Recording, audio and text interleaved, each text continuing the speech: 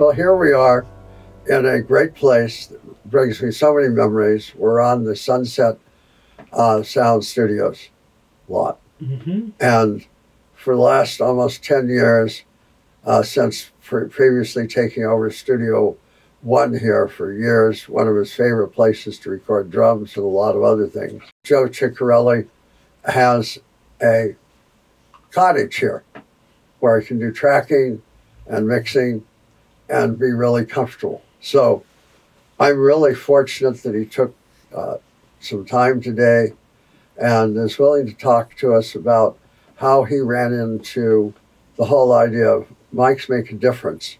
Often, as Wally Heider taught me, my first mentor over at 6000 Sunset Western Recorders, often they are all the difference between something that you don't have to work hard on in the mix and you really work hard to fix it in the mix. True. Yeah.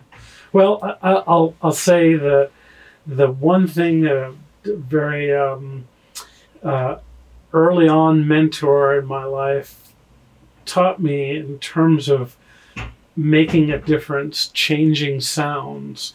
Um, he said, if you want the greatest difference in a sound, the first thing you do is change the musician because really the sound is in the musician's hands. But if you don't have the ability to change the musician, for instance, most of the time I'm dealing with bands, and you're not going to change the musician in the band. Maybe in rare cases you do, but it's a little little tense if you have to do that. So you can't change the musician. But the second greatest difference you can make is changing the instrument. So if you've got a guitar that's too bright, you want a sound that's darker, you use a guitar that's darker. But the third biggest change he said you can make is the microphone. And then everything else falls down the line in order. In other words, the preamp makes a difference, the EQ makes a difference, the compressor, etc., etc.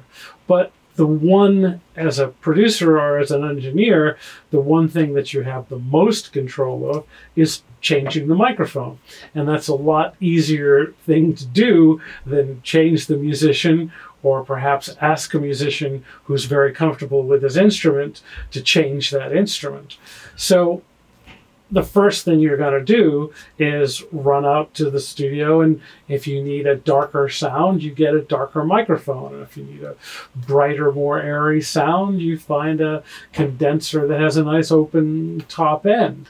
So you know you learn to make those big changes with with the microphones first in the studio. So that's when I started being aware of the differences in microphones. Certainly, I worked with a lot of engineers when I was very young and watched them work and what microphones they chose for, for what instruments and what types of music. Um, and their choices were always different, never always the same. Uh, so, you know, you start to um, amass this list of uh, situations and you know when when this guy was doing a jazz date he put a 67 on the the the um, the, the the trumpet but when he was doing this big band date, he put a 77 uh, on the trumpet. You start to realize, oh, when the guy's blowing stronger and more powerful and perhaps more brassy, you want something that tones it down and rounds it out. So you grab a ribbon microphone. But when you have something that's subtle and wants detail and air, you grab a condenser microphone. So you, you start to learn all those things when you first start engineering. You know, I, I think, you know, my first um, real understanding of microphones probably was when I was uh, a teenager and bought my first uh, stereo reel to reel recorder. I would record my friends' bands or my guitar playing or whatever it was. And of course, it, it came with those cheap little microphones that whatever um, Super Scope or Ampex or whatever tape recorder I had um, had. You know, you you as you got into recording, you started to say, okay, well, how can I improve the sound of my recordings? And you, I don't know, look at the recording tape you're using, and you start to look at pictures of people in sessions, and you're realizing they're not using those cheap microphones that you're using. So you start to invest a little money in microphones, and you up your game, and then you start to say, uh, oh my gosh, the difference between my bad guitar playing on this microphone and this microphone is night and day. So you understand the importance of it at that point in time. Uh, but I think, you know, really, uh, I was fortunate to have a lot of great mentors. When I moved to California, um, I worked at Cherokee Studios with the Robb brothers, and Dee Robb and Bruce and Joe all were very kind to me and really schooled me a lot. And I would watch their sessions, and, you know, those, those studios were just an amazing place to be, kind of like Sunset, where you know one day you'd have Barbra Streisand in one room, the next day it was the Bee Gees, the next day it was Phil Collins, the next day it was Journey, and you really worked with A level talent and A level producers. I was assisting George Martin and Roy Thomas Baker and so many great producers that really kind of you know wrote the the, the book for making rock records.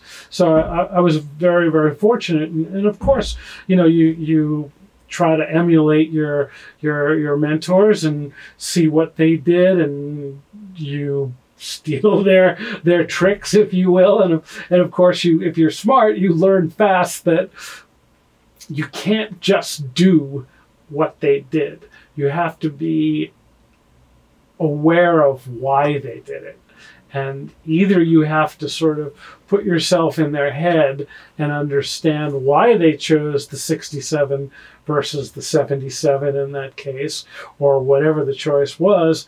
You kind of had to get into their psyche and realize what they were going for sonically and, you know, why they chose that instrument, that microphone, to capture that sound. You know, to me, it's all a bit like making a movie or painting. I really equate it to a lot.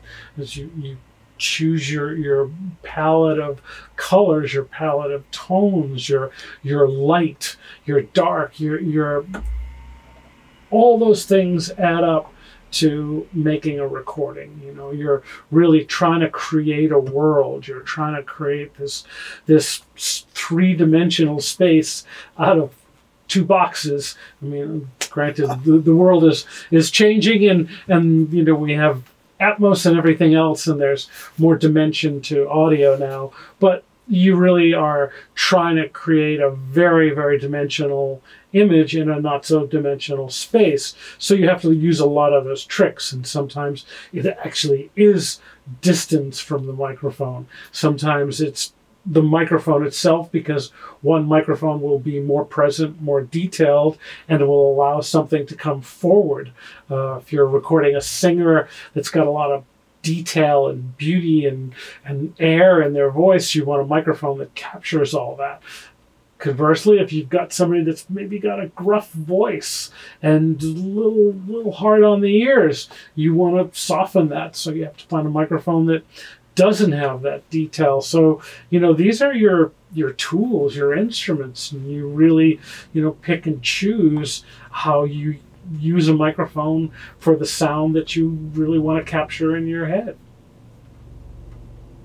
Well, you're very parallel to many in terms of no, noticing the nuance because that ability to pick the right mic for the right place is, instead of, oh, this one will do everything, like at one point uh, Gordy tried to do at um, Motown in Detroit.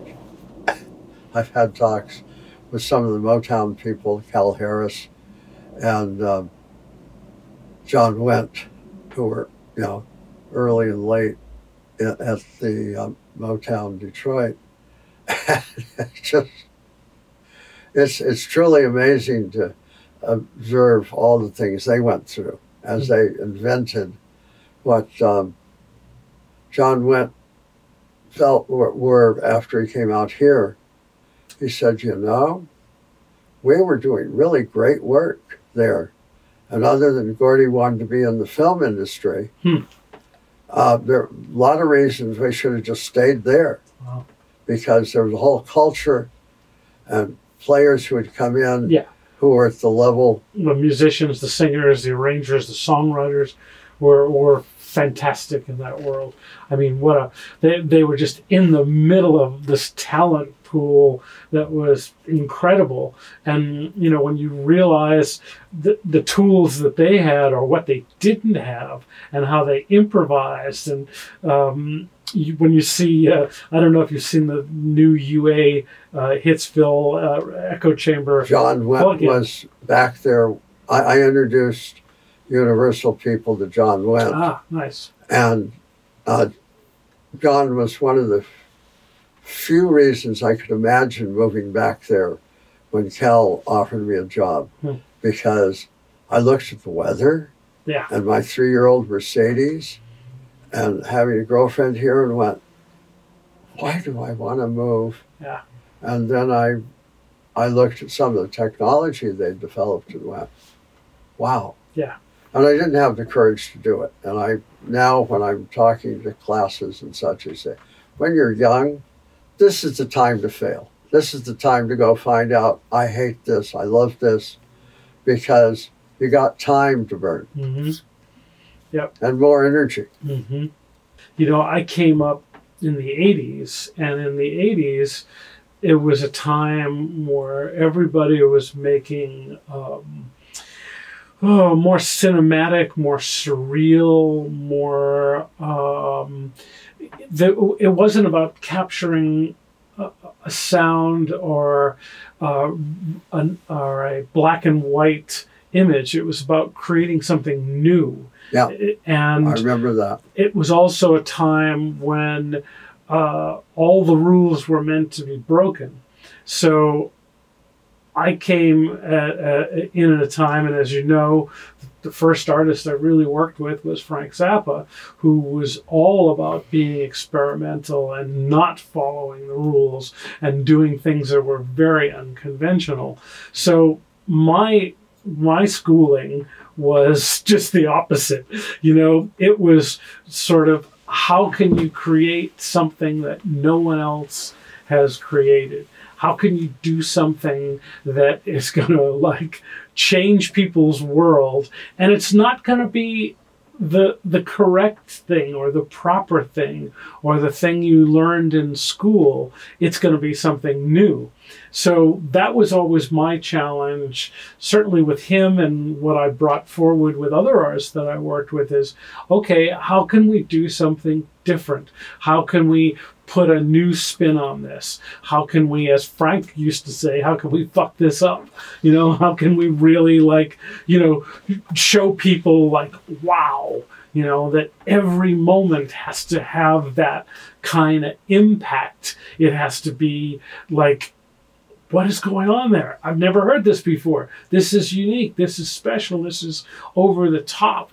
So my my my my, schooling was to sort of break all those traditions. And then of course you know if, if, as you grow uh, you start to realize okay all right this is the way i was taught but boy i love the way those miles davis records sound or i love those coltrane records or Pete Seeger or whatever it was as a kid that you listened to, you know, and you start to research how those records were made, and you start to think, oh, they were made in a very opposite headspace as what I grew up in. And you start to research the techniques and the, the, the things that you're talking about, the room, the ambience, the microphones, the, the clean signal path, all that sort of thing. And then you sort of steal from that you steal from what you learned on your own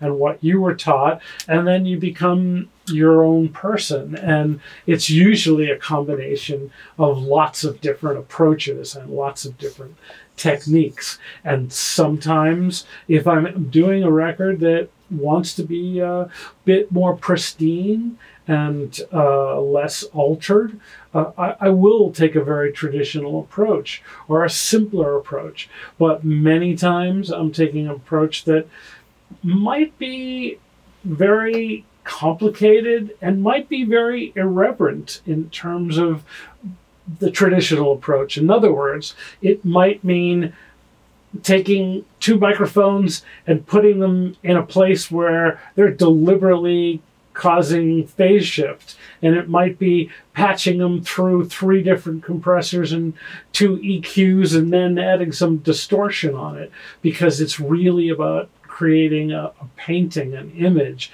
and who cares what the process is? That's the one thing I've always said to artists. Like, what happens here in the studio doesn't matter. No one gets to witness that. No one knows the techniques, the rules, or the lack of rules that went into making this music. So you have to do whatever it takes traditional, non traditional, to get the result you're looking for. So for me, I start with the end product. I start with the vision and then work backwards. I don't start with the technique and then hope to achieve something from those techniques. To me, I walk into a session going, what do I want out of this? What do I want this to sound like? What do I want this to feel like? How do I want this to affect somebody? And then I start to think, okay, well, to do that, do I want to take a more classical approach with the miking, or do I want to use a bunch of old junker mics? I have a drawer full of old, you know, salt shakers and RE15s and microphones that in a way, sound terrible. They're very limited bandwidth wise, or they're distorted, or their off axis uh, response is really odd and bumpy, but they do unique things. And um, to me, uh, that's kind of what it's all about is painting that picture. Wow. That's we've just gone through the whole thing from recreative to creative. It reminds me when I started building studios, uh, I had built a studio for one of the Limeliters. Hmm. Uh, and Alex Hassilev then called me and said, I just bought a big Moog synthesizer. Wow. And so I uh, knew John Stephens, and we put a John Stephens 3M hybrid mm-hmm. machine mm-hmm. in mm-hmm. to in place of the Ampex 440. Mm-hmm. And now he had, you know, like 12 feet wide uh, Moog synthesizer. Amazing. And we redid his uh, lower level studio and set all that up. And I really loved Switched on Bach, I just thought was astonishing. Brilliant. Yeah, brilliant. So I came from the Recreative because the 1st mm-hmm. group I ever got to record was at the Troubadour for my radio show at Pomona College. Mm-hmm. I just called because I was bored playing records and talked to uh, Tommy Makem at the Troubadour and said, Hey, I do KSPC FM, friendly folk. Uh, would you stay late tonight and record a radio set for me? Huh. And then took the station apart because, hey, they had an Ampex 350. In this case, I loved what was done with Switched on Bach. And then Mort Garson, who did Our Day Will Come, and I'd done a studio for him, four track, uh, he thought this was cool as well. Went to a similar rig we set up, you know, echo plates, all that stuff. And so we were in creative space because it never happened before. And then, then I started realizing how wide of range these people were. Uh, you know, I was mi- raised Midwest. Ah. Uh, we'd come out here, but they were Midwest. And um, so I'm volunteering for the AES in New York. And um, the guys know I'd worked on some Moog studios. And they said, oh, well, we'll have you uh, work with Carlos Carlos is doing a uh, workshop on, and I was introduced to Wendy Carlos. hmm And I went, uh, uh, okay. But that that record, I, I remember uh, as a kid hearing that, and um, I mean, I think it turned a whole generation of people onto classical music. Oh, it's such a great That, piece. and and I I remember uh, being uh, in college at Boston University, and being so fascinated with electronic music that there was a guy who was a very elec early electronic music pioneer by the name of Peter Fink, and he had a school in Boston called the School of Contemporary Electronic Music, something like that, and um, would offer these night classes. And he, had early Buchlas, Moogs, ARP 2500, and it wasn't so much the instruments, but his mindset was so fascinating because it was about new sounds.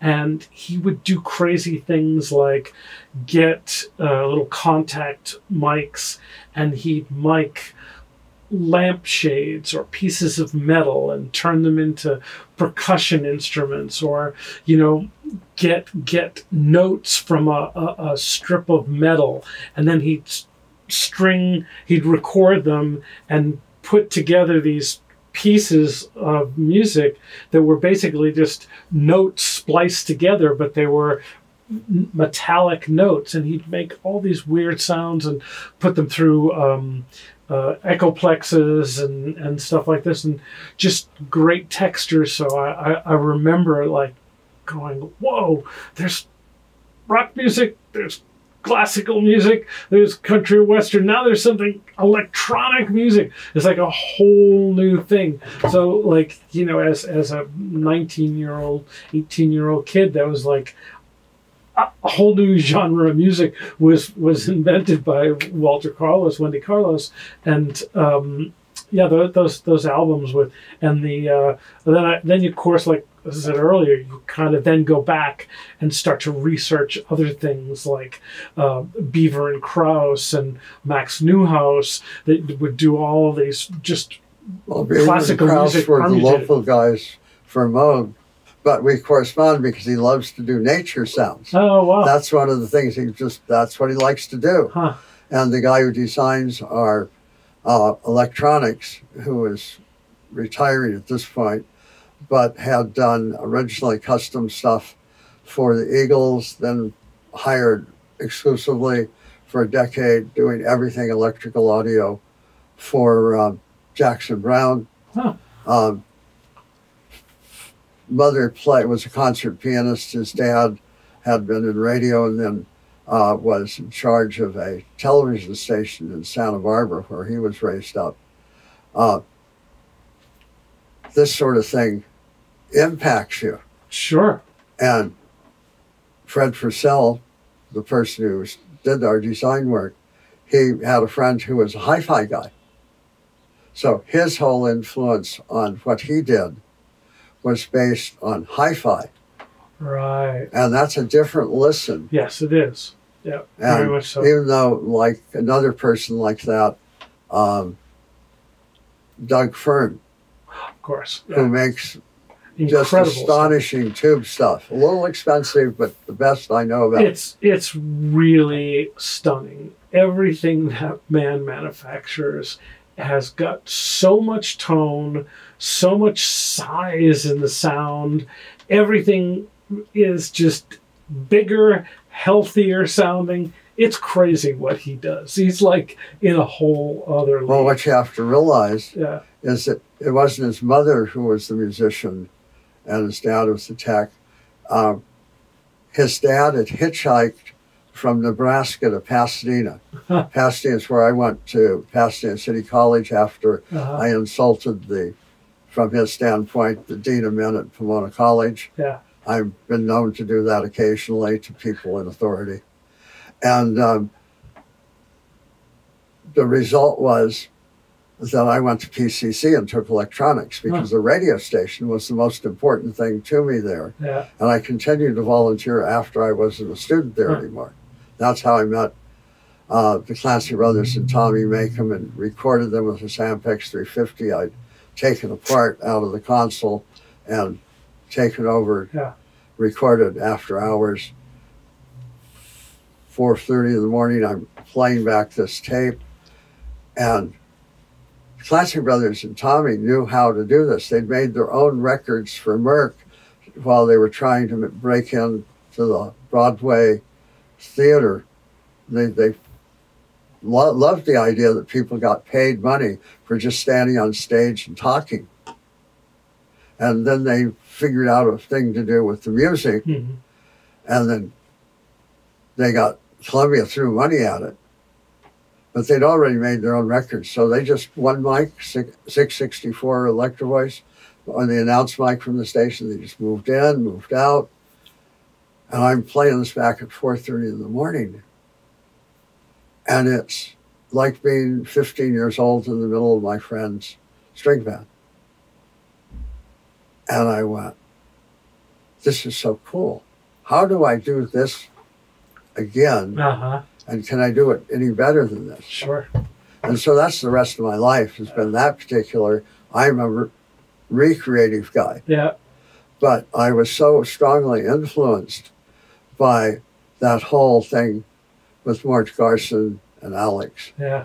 and me- meeting Beaver and Krause Uh-huh. that I went, yeah, but there's this other stuff and it's really cool too. Yeah. And in between is the recording studio. Yeah, yeah. And I went, okay, know, why would I want to do something different than that? As I mentioned before, every project I kind of go into it with a sense of really what I want the outcome to be. And I can tell you an interesting story that involves ribbon microphones and and my mistaken big picture for an album project. Um, some years ago, uh, I got invited to work with Jack White on a solo track that he was doing, and we did a few days of work together. Went really well, and um, a few weeks later, he asked me if I would be interested in doing an album for the White Stripes, and I was like, "Absolutely! I'm a fan. I'd love to be a part of this. Love the White Stripes, absolutely." So I thought about it, and Jack and I talked about it, and you know, Jack said he wanted to get a little bit more modern with the record, but you know, he had just done uh, Get Behind Me, Satan, and Elephant, and those were eight track recordings, and he wanted to now do something that was a bit more adventurous, gave him more opportunities, so he wanted to do 16 track analog. Now, this is 2006 or 8, whatever that was. Um, we're already in the world of Pro Tools. It's not like we're talking about 1970 something when it's 16 track. Um, so I thought about the record a lot and what I wanted in a White Stripes record as a fan and what the other records had sounded like. And I thought, like, wow, you know, this could be a really great opportunity for me to do something very classic, very honest, very much about two people in a room with great sounds and great performances. This could be captured like a Glyn Johns record is captured, meaning, in my mind, not a lot of microphones, classic tube microphones, um, distance between the source and the microphone, not 15 drum microphones, maybe four microphones or whatever it is. So, a very straight ahead, honest picture of what Meg and Jack sound like. Because they're extremely powerful. They're really an incredible combination of the two players. They're magical. And um, so I really thought, like, I want to do this very straight ahead thing. And we got in the studio and I started to get sounds and I started to go for that picture, that photograph. And I, you know, the one thing about this job is you constantly have to go back and forth between listening to the big picture and then listening into the fine detail and stepping back and taking an overview and diving back in. So I had gotten so far with the drum sound and then I took a big picture listen and went, this is so wrong. My my picture for this record is just absolutely off the mark. This was mid 2000s everything on the radio is now you know we're in a, a digital world. Everybody's using pro tools. We have hip hop records that are big low end and powerful. Everything is about the groove. Everything is about being big and intense. I can't do this black and white picture thing it's boring it's it's small and light and not impactful. So I said to Jack, I, I want to totally rethink how I'm miking this, how I'm approaching the recording. And would you be patient and give me a half hour or so to reset up the drums and try a number of different things and reset up the guitar? And Jack, being the gentleman and the creator that he is, went, Absolutely, I trust you. Do your thing. Go for it.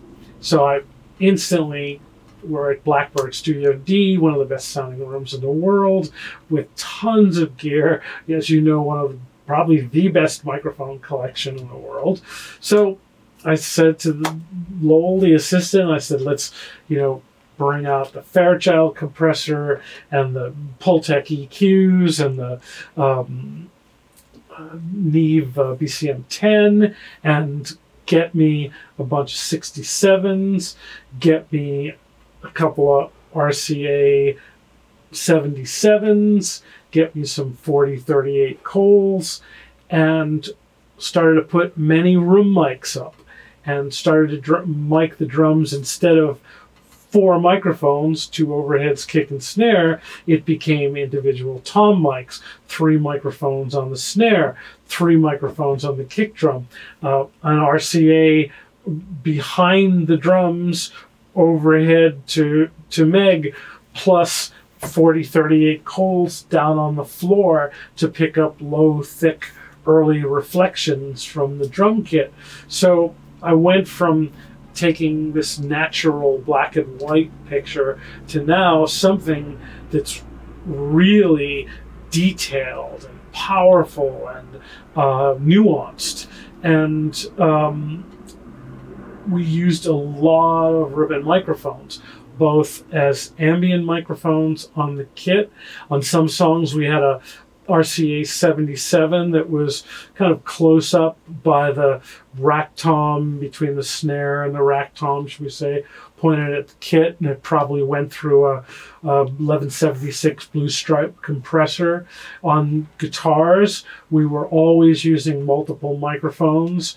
Um, I started out miking the guitar with just 67s, a few feet off the speaker cabinets, but when I realized that sort of natural picture of the guitar was no longer impressive uh, and powerful, I instantly got out the 57s, got out Coles, got out, pulled the 67s back as room mics, and took a picture that was more dimensional and more detailed and more aggressive, more outside the speakers, less about a picture back there in the speaker. It became like just a roar. And um, the funny thing is that Jack is a very intense player. He's very loud. And I don't mean amplifier volume loud, I mean his playing is big and aggressive. And John McBride can tell you that we probably blew about six 40 38s putting them in front of the guitar amps, even with windscreens on them. And, you know, they would start by being three inches from the cabinet and then you know you'd blow a, a ribbon and you go okay i guess i got to move it back and you were moving it back and back to to not blow up the rhythm the ribbon microphone because we're causing john mcbride a lot of a lot of costs to re-ribbon microphones and um, then we discovered your 84s and we switched to those and use those on a lot of the guitar tracks as well. And they're, you know, the thing about ribbon microphones is, in my mind, they have a built-in compressor. They're um, there's something they do to the transient that kind of packs it into the sound, and where condensers are the the transient is faster, it jumps out of the speaker a little bit more, and and the tone perhaps gets a little left behind in the sound. It becomes a bit more attack and less tone.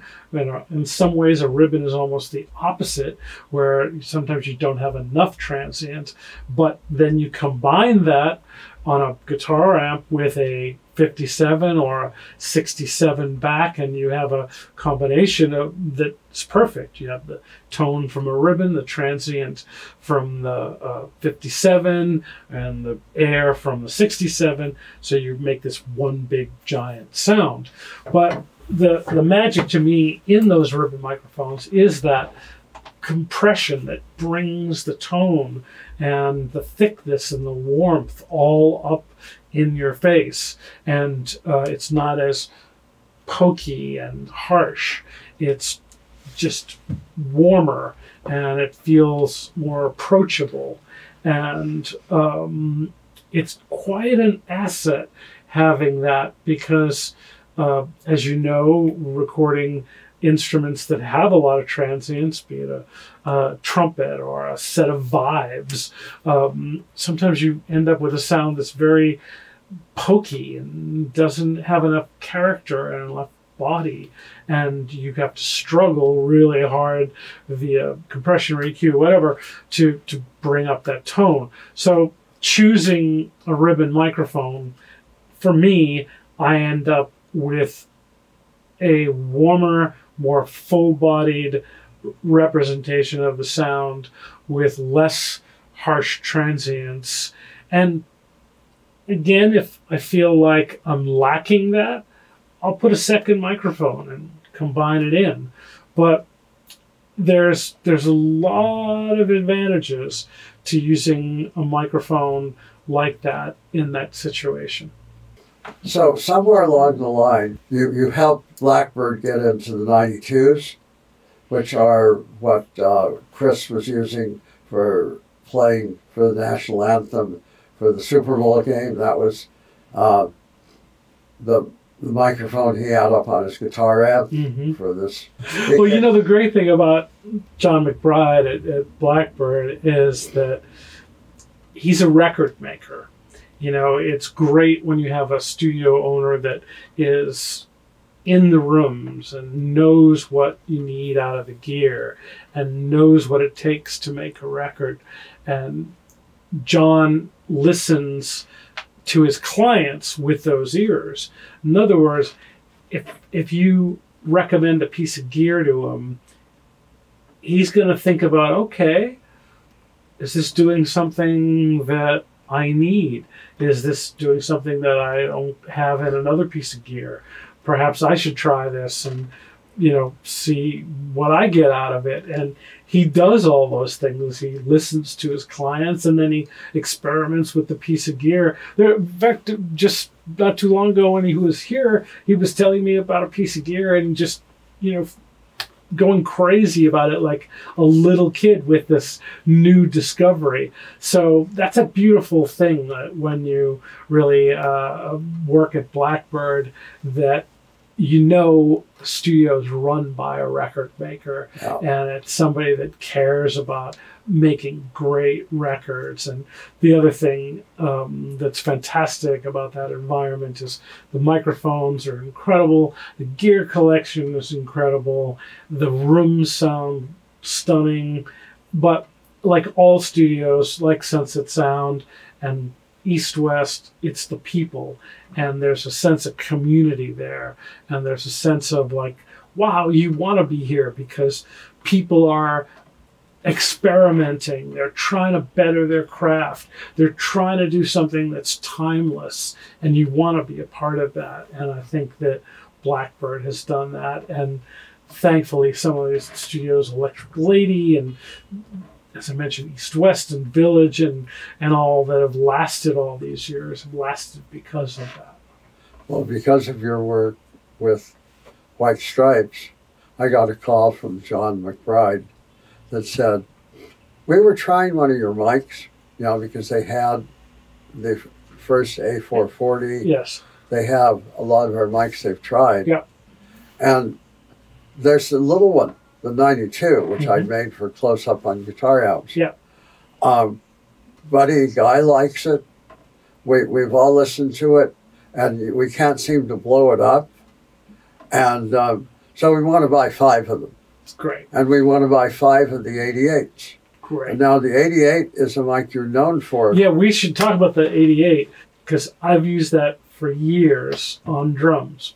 That is part of my drums years. Uh, I, I know that I've used it down at Blackbird. I don't remember when I first got introduced to it, but I remember putting up the microphone in front of a drum kit for the first time. And again, it has that self compression thing, but it's thick and forward and being a stereo microphone, it's it's wide, uh, and I remember putting it up, I don't know, three feet in front of the drum kit, and it capturing all these like early reflections. You know, traditionally we put up room mics, but we tend to put them further back in the room, and in this position.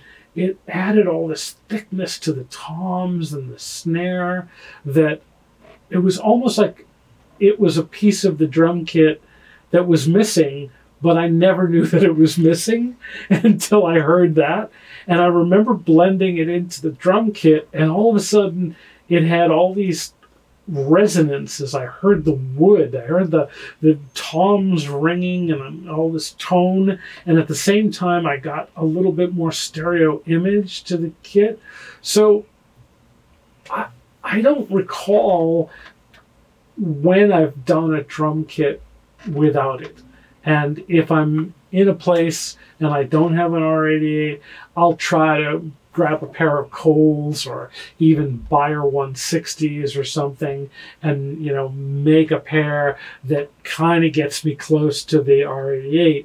But there's something that that microphone has in the way it brings all this chest and body to the sound that uh, is really, really unique. And uh, I- feel like my drum recording has gotten way better since I started using that microphone. I'm so pleased. It might have been there because they had an 88. They got on, uh, Vance Powell put them on to the A440. This was before, because Vance Vance was in the when I first started working with Jack. Vance wasn't around too much. Vance was the technician at Blackbird. He was the maintenance guy. So this would have actually been before Vance was uh, that much involved with uh, Jack or Blackbird. But whatever, um, I, I can't remember quite the chronology, but um, I, I can tell you that that microphone really became a part of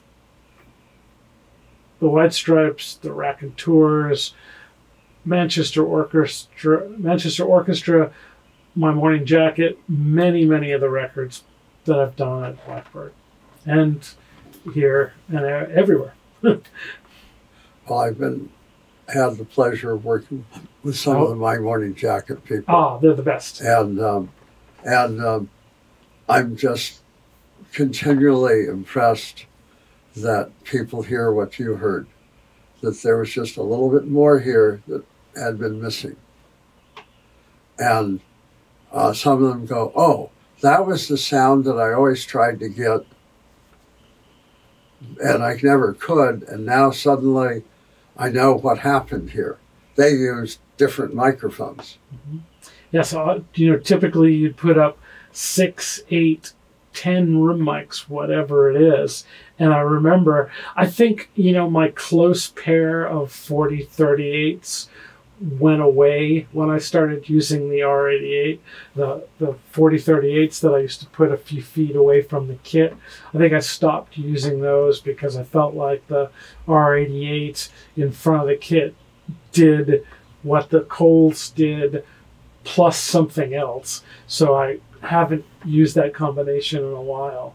So yes, it, it adds something totally unique to the drum kit and something that always I've felt is is missing that just sense of wood, that sense of thickness and, and reality. Well, as I commented at the beginning of all this, Jim Keltner uh, called me just out of the blue, and I, I'd fixed his 77, uh, but he said, I need an 88. And I went, You got that little eight foot ceiling with a 12 by 15 room? Yeah, but I worked with Ry Cooder's engineer. He thinks he can make it all work. And he did. Hmm.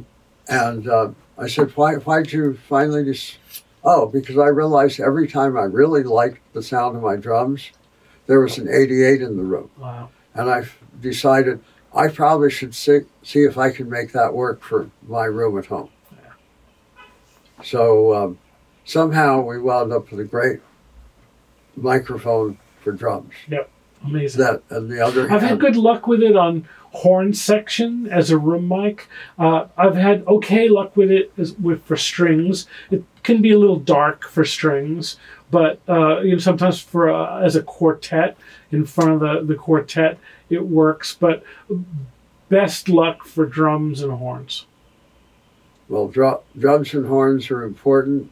I have people who tell me it's really good for a wide variety of things. It gets down to, you know, some people love it on grand piano. I could see that. Yes.